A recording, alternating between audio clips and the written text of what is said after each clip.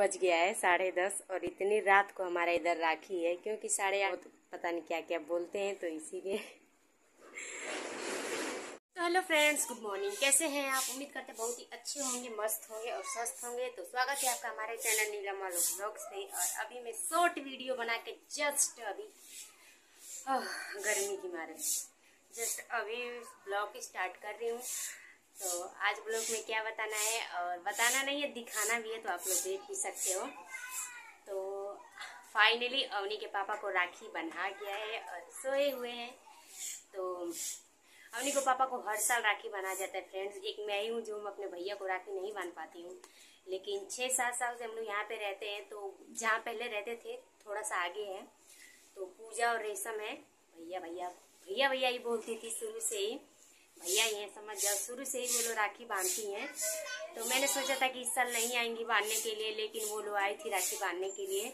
साढ़े दस बजे रात को आई थी राखी बांधने के लिए, क्योंकि हमारे इधर रात को ही राखी स्टार्ट हुआ चलो ठीक है, आ रही हूँ अभी। तो हमारे इधर साढ़े आठ को राखी स्टार्ट हुआ था। तो वो लोग बोली थी कि, दीदी, हम लोग भैया को राखी बांधने आ रहे हैं। मैं बोले, ठीक है, साढ़े दस बजे आ जाना, वो जाएँगे उसी टाइम ड्यूटी तो वो लोग आई थी और जल्दी जल्दी पागल राखी बाँध के भाग रही थी। जैसे लग रहा था कि बोलिए में तो रात हो गया दीदी तो जल्दी से घर पे जाना है।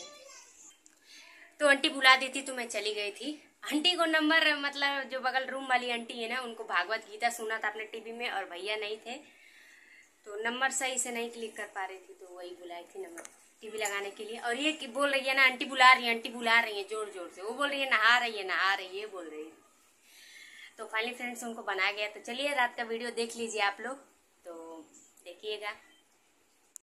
तो देखिए फ्रेंड्स इधर राखी बना रहा है उन्हीं के पापा को और इतना दस बज गया है, साढ़े दस, और इतनी रात को हमारा इधर राखी है, क्योंकि साढ़े आठ से स्टार्ट हुआ था।